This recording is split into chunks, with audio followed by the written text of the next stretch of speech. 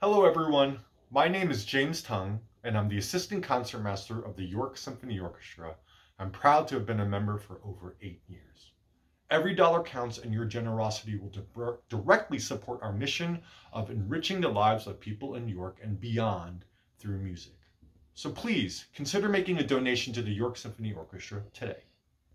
This message would not be complete without some music, so my wife, Alice, and I would like to play the first movement to Bohuslav Martinu's Three Madrigals.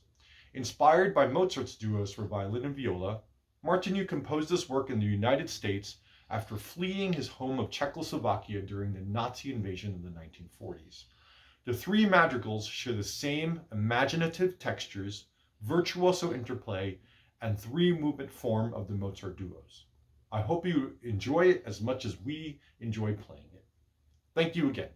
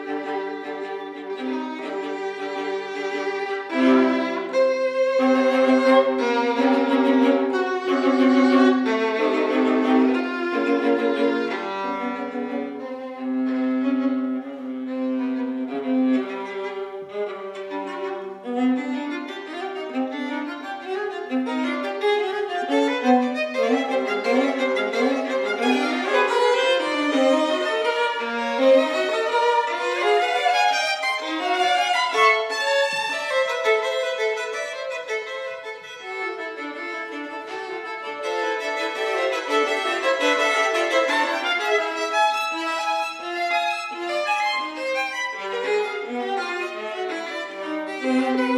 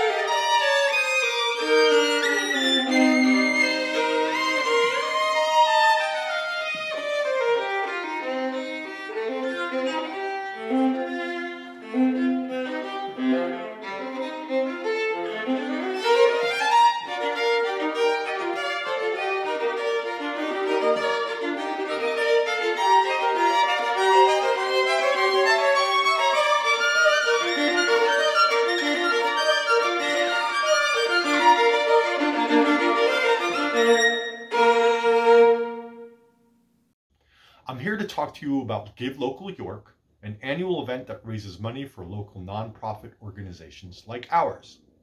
The York Symphony Orchestra, now in its 90th season, has been a cornerstone in the York cultural community. My talented and dedicated colleagues, led by our music director Lawrence Golan, are honored and thrilled to have the York community as our audience to our many diverse concerts, educational programs, and outreach initiatives. But as you can imagine, it takes a lot of resources to sustain an orchestra, and that's why I'm asking you for your support during Give Local York.